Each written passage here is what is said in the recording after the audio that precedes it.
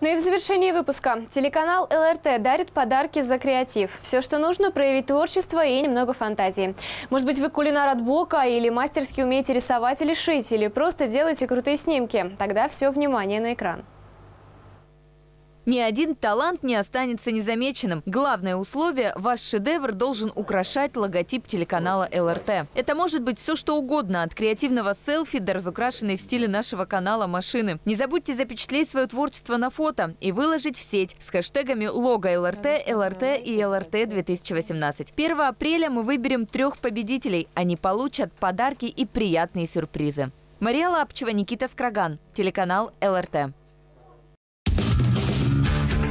Привет! Вы смотрите ЛРТ, а я Мария Лапчева. Подписывайтесь на наш канал на YouTube, ставьте лайки и будьте в курсе самых актуальных событий.